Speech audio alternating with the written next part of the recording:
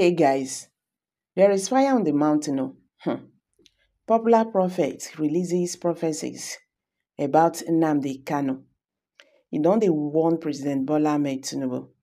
He said the situation of Nnamdi Kanu now, una just dey look am like this as dem dey tell on e no well, e no well. Dey fit say na one of those means make them, you know, making comot for from detention. He say that guy is really very sick.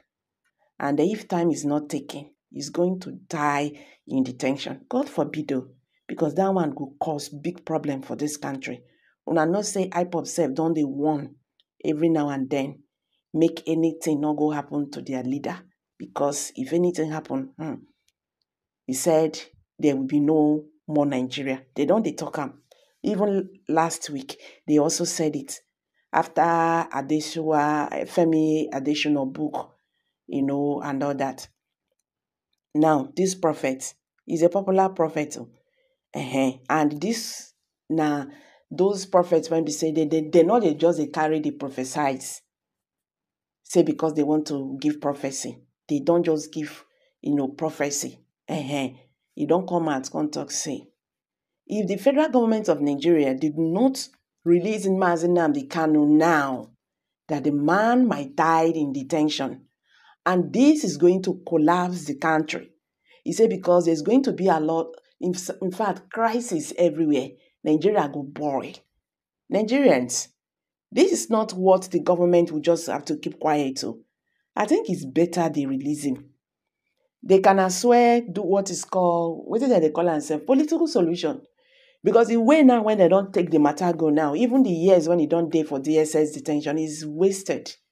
Now, now they won't even start the matter again after he has been discharged and acquitted by a competent court of jurisdiction. This matter self, it get as it be. Because when you look at the matter very well, you will understand that it is a kind of politically motivated. Yes. Not be only Mazi Nnamdi Kanu self, he don't talk uh, prophecy give. He also mentioned Obasanjo and the article. Make we just hit the news and get the full details. But before then, guys, if you are just joining us for the first time, please kindly subscribe to this channel and don't forget to give us a thumbs up. The spiritual health of the Wisdom Church of Christ International in Lagos, Prophet, Prophet BC Olujobi, has warned that the leader of the indigenous people of Biafra, IPOB Nnamdi Kanu, should not be allowed to die in prison. Speaking to Daily Post while releasing a series of prophecies during the week, Olajobi also said that a new political party is on the way. He said the new party would be formed by former president, Olusegun Obasanjo. A party is coming through OBJ to go against Tinubu. And if Tinubu is not careful, they will turn him down the second time, he said. The cleric further advised a former vice president, Alhaji Atiku Abubakar, to go and rest, although he still has opportunity. According to him, Remi, the wife of President Tinubu, should not sleep. Another plan is on the way against her husband. I can see him on a sick bed. On Nnamdi Kanu matter, he should. He said that IPOB leader is already inside the prison.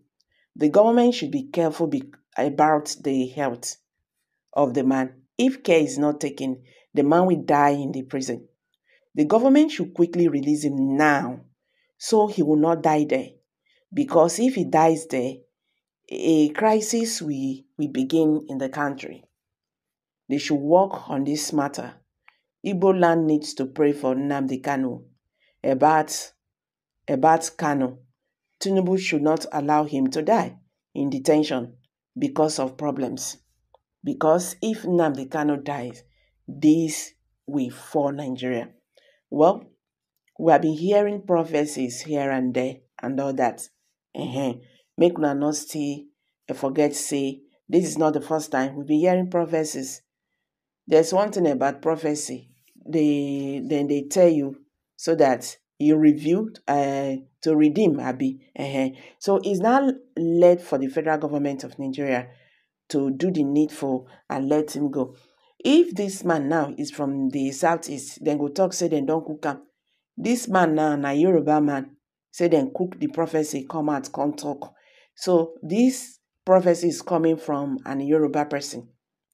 You understand?